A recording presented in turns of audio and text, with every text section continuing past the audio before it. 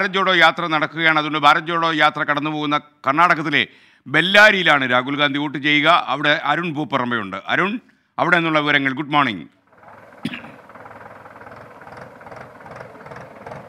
S. K. N. Good morning. ഈ ഭാരത് ജോഡോ യാത്രയുടെ പര്യടനം കർണാടകയിൽ ഇന്നലെ അവസാനിച്ചത് കർണാടകയിലെ ബെല്ലാരിയിലാണ്.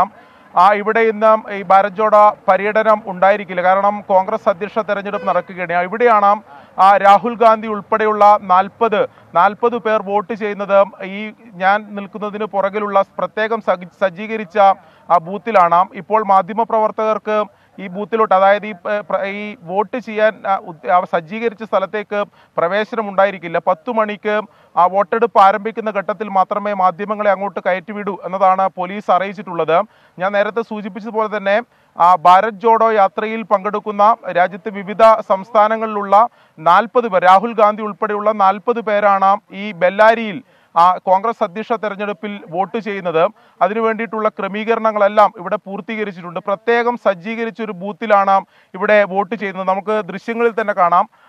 നമുക്കിപ്പോൾ മാധ്യമപ്രവർത്തകർക്ക് ഇപ്പോൾ ഞാൻ നേരത്തെ സൂചിപ്പിച്ച പോലെ അങ്ങോട്ട് പ്രവേശനമില്ല. വലിയ പോലീസ് സുരക്ഷയാണ് ഇവിടെ ഒരുക്കിയിട്ടുള്ളത്.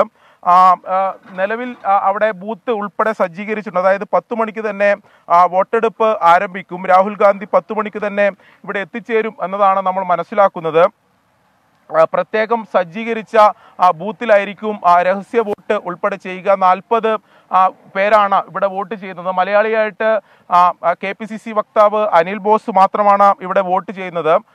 മറ്റ് വിവിധ സംസ്ഥാനങ്ങളിലെ നേതാക്കൾ ഉൾപ്പെടെ ഇവിടെ വോട്ട് ഈ കോൺഗ്രസ് അധ്യക്ഷ തെരഞ്ഞെടുപ്പിൽ വോട്ട് ചെയ്യുന്നുണ്ട്. അതോടൊപ്പം തന്നെ കർണാടകയിലെ പ്രധാനപ്പെട്ട ഡി കെ ശിവകുമാർ ഉൾപ്പെടെയുള്ള സംസ്ഥാന നേതാക്കളെല്ലാം ബംഗളൂരുവിലെ പി സി സി ഓഫീസിലാണ് അവിടെ സജ്ജീകരിച്ചിട്ടുള്ള ബൂത്തിലാണ് വോട്ട് ചെയ്യുക. ഇവിടെ എന്തായാലും പത്തു മണിയോടെ തന്നെ വോട്ടെടുപ്പ് ആരംഭിക്കും. പത്തു മണിക്ക് തന്നെ രാഹുൽ ഗാന്ധി എത്തിച്ചേരുമെന്നാണ് നമ്മൾ മനസ്സിലാക്കുന്നത്. രാഹുൽ ഗാന്ധിയുടെ പ്രതികരണം ഉൾപ്പെടെ ഇവിടെ ഉണ്ടാകും എന്ന് നമ്മൾ പ്രതീക്ഷിക്കുന്നുണ്ട് S K Arun Pooparamba thank